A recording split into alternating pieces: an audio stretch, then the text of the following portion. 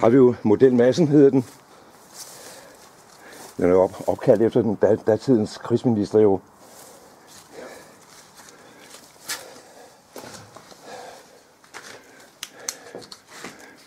Wow.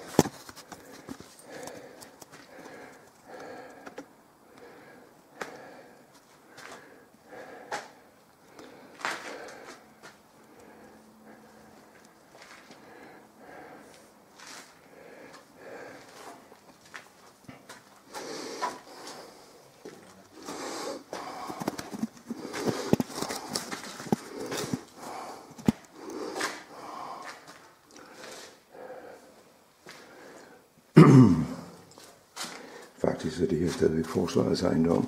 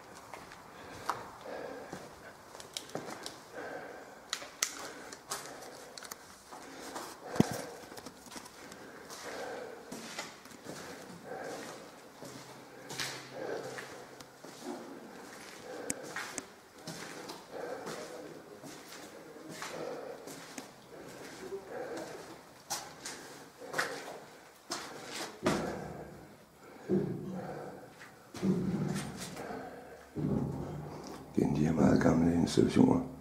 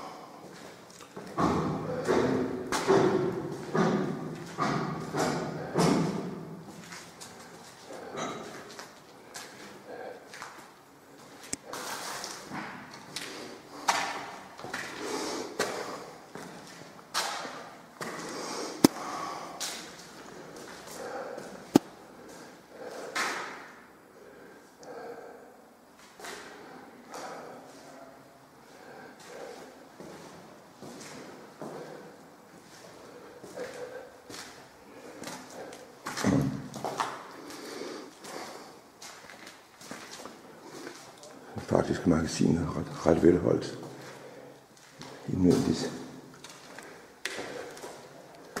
Men det skyldes jo, at, at det er aflåst. Der er ikke nogen graffiti-malere og lignende, der kan komme herind.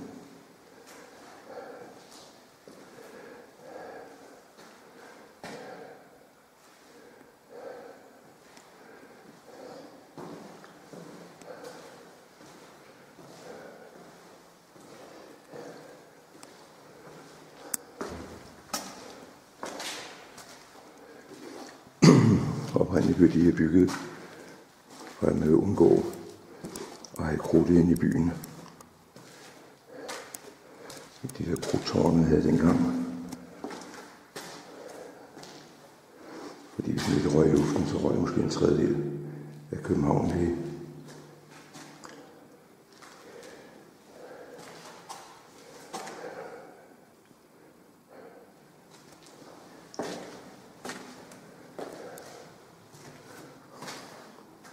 Og her er nogle uger til.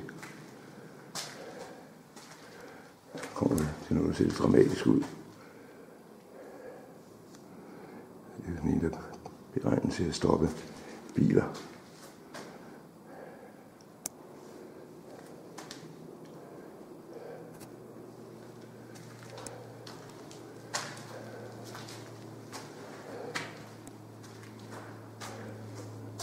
Det ser meget effektivt ud.